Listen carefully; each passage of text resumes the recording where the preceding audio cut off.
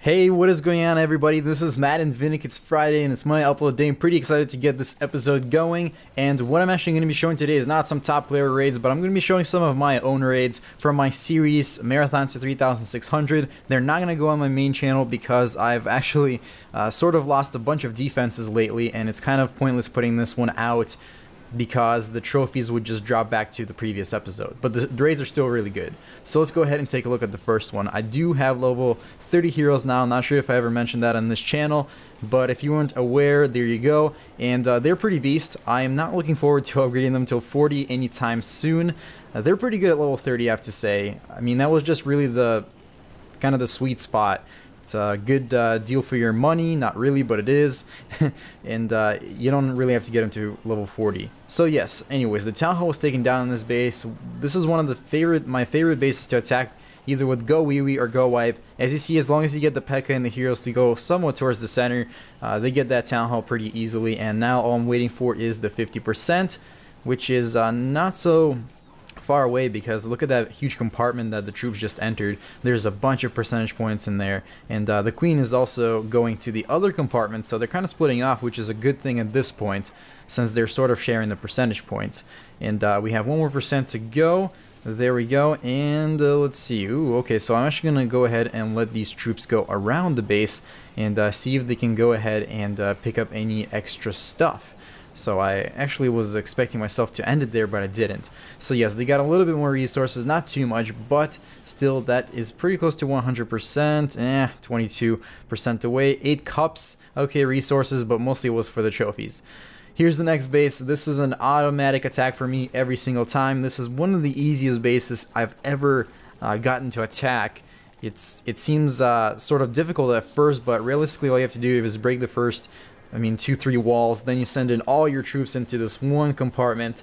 Literally all your troops, heroes, golems, P.E.K.K.A, wall breakers, wizards. And uh, once they get up to that last wall, you drop the rage spell just like I did. Now I waited out for all those minions to get out of the clan castle. I wasn't sure if they were going to be witches.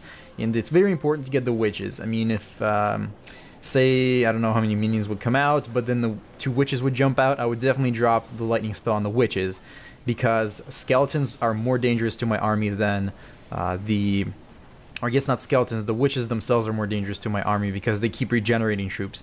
Minions, they can be killed off by my Archer Queen, while um, the skeletons that just keep making and making and making. So anyways, as you see, was able to pick up the 50%, which is not always possible. I had a lot of difficulties with my level 20 heroes uh, doing so, but as you see, that's 11 trophies for me, 2 stars, and over 50%. Up next we have a guy from Chinatown, and uh, this base I was sort of uh, thinking quite a long time whether I should attack from the bottom. Sort of looked easier on the bottom because of the walls, but at the same time, if you take another look, there's just less buildings on the top, and even though the town hall is very well centered on this base, and I guess you could attack from the sides, but I didn't want to deal with that and I sent all my uh, heroes, golems, and uh, P.E.K.K.A right down that middle alley, and as you see the wall breakers were able to break all three walls and even more. Now the P.E.K.K.A are all in the center, and um, you have to watch out for that clan castle. A lot of wizards. There are some witches in there too. So uh, if I wouldn't have actually dropped a lightning spell right there, that would have ended pretty uh, bad for me. Probably wouldn't have been able to pick up the town hall nor pick up the 50%. Alright, so uh, sorry about that, I have my uh, phone going off here. Let me fix that uh, real quick. Oops. Alright, here we go. Uh, sorry about that. Okay, so it looks like we picked up the 50% uh, by the time I was done uh, muting my phone. Once again, 11 trophies. And I have no idea what, uh, what uh, trophy count I'm doing this at. I think it was uh, around, let's say 4,485-ish. Somewhere around that range. I know it's very close to that.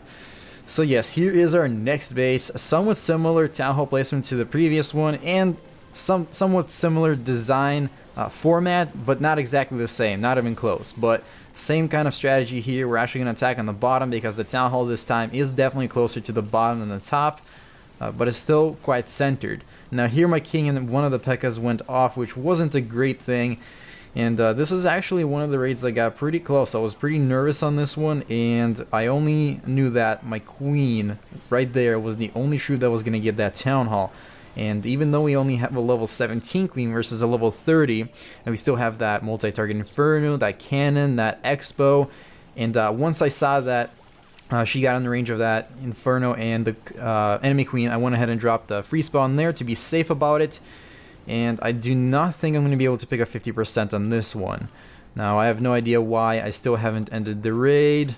Oh, you know what? I know why. I was watching Landon stream. Uh, yes, I was watching Noteworthy Games on Twitch at the moment, and I totally forgot to end the raid. I just let it go on because I was probably replying to someone.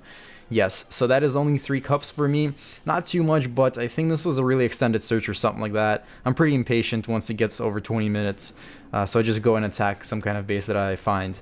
Alright, so up next, um, sort of a crab base, not really though. Kind of an interesting design, but the wall levels are pretty darn low, so it's like two wall breakers per wall, uh, I mean per section, I guess, if you if you could, if you would. And uh, there we go, we have some rage spell and the wall breakers.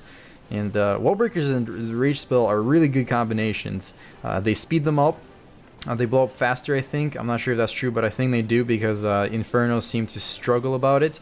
And uh, here, I love to do this on crab bases. I drop uh, freeze spells on the entire core.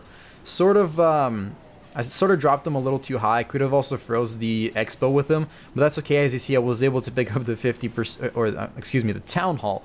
Uh, I was watching those barbarians run after the barbarian king. What is it? He deploys now, I think. Think he, he deploys like uh, 30 barbarians at level 40. I'm not exactly sure, but I think that was 20 barbarians running after a level 30 king. That's two stars, 14 cups, and that is all I have for you guys today. I hope you enjoyed this episode, so make sure you subscribe to The Clash Army right down below. It's free, as well as check out the description for everybody who uh, sort of runs this channel and collaborates. So subscribe to them as well. And uh, make sure you like this video and comment down below of any thoughts you have about the gameplay, any questions, I will be glad to answer them. That's all guys, make it a great clash time or not, the choice is yours.